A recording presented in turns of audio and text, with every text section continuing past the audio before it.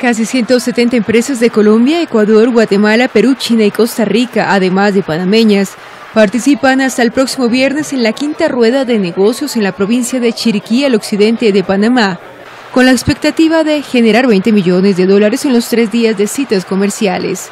Danilo Araúz, director de la Comisión de Negocios, Rueda de Negocios.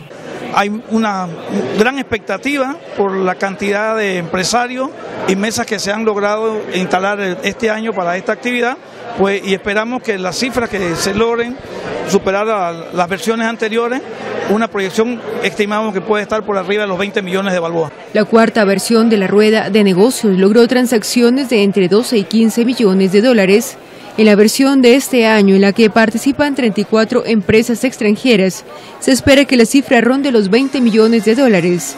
Pedro Beirute Prada, gerente general de la Agencia Nacional de Exportaciones de Costa Rica. Chiriquí y la provincia de David es eh, la área más cercana a nuestra frontera sur.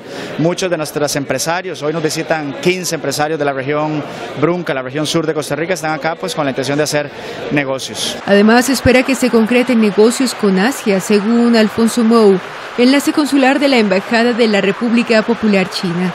Esto significa una oportunidad tanto para Chiriquí como para China poder exportar el producto hacia China y China poder comprar por las necesidades que tiene la República Popular China y esperamos que pues con esta oportunidad que se abre en Chiriquí pues también nos ayuda a coordinar y lograr ese éxito para ambos países. El evento es organizado por la Cámara de Comercio, Industrias y Agricultura de Chiriquí y congrega a representantes de 169 empresas que han pactado 1.500 citas de negocios.